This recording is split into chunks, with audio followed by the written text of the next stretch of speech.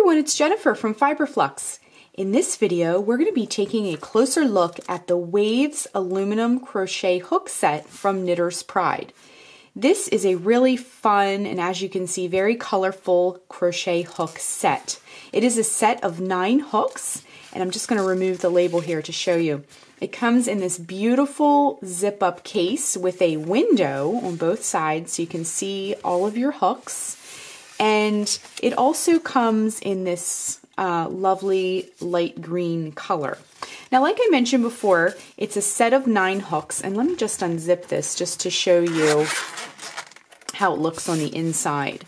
So when you open it up, you can see all of the hooks displayed and they're held in place by these uh, elastic loops. So they stay in place, they're not floating around, and when you close it, uh, they line up very nicely.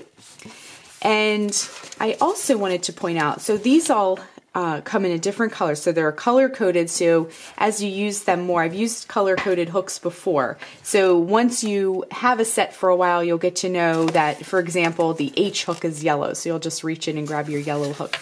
Um, but they also come in a lot of uh, fun color names. So when we look at the label on the back, you can see some of the colors are tangerine, primrose, magnolia, pansy, bluebell, just to name a few.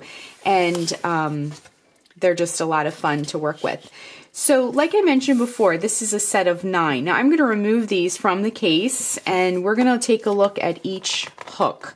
So let's get these lined up and just look at each one. So with this, they're also in size order. And the case makes it really nice to keep your hooks protected and neat and tidy when you're not using them as well. So let's scoot this case over. And like I mentioned before, it comes in that green color as well. Okay, so here is our full set of hooks.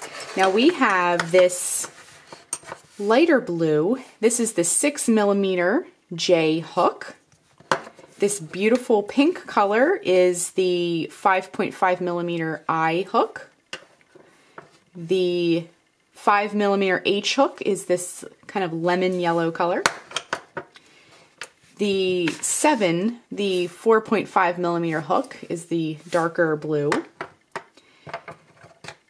We have a four millimeter hook, the G hook in orange. The F hook, 3.75 millimeter, is this uh, light brown, kind of like a latte color. And we have the 3.5 millimeter E hook in the green. This ivory color is 3.25 millimeter D hook. And the lighter pink, we have 2.75 millimeter C hook.